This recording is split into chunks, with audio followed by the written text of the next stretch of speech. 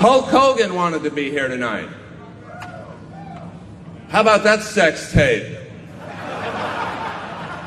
Jesus Christ, that was just like his in ring wrestling. Three moves and a shitty finish.